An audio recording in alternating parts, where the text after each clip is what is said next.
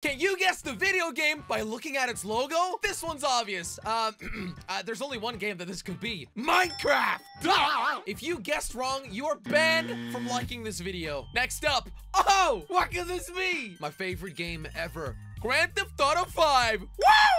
Subscribe if you guessed that one. We're moving on to the next one, which, oh, oh, this could be Sonic. Sonic!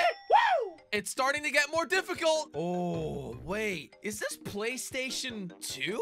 Oh, wait, it's just it's just PlayStation. I think this is a logo from a video game developer. No, I don't know what this is. It starts with a K, I think. I don't know. Mojang. Ah, guessed it wrong. Next up. Ooh, hmm. I, I don't know. I, I guess I don't know my games. Treyarch. What's this? What am I even looking at? Valve. No, no, it's getting worse. I don't know what this is either. Game Freak. Let me know in the comments how many you got right. But the real question is,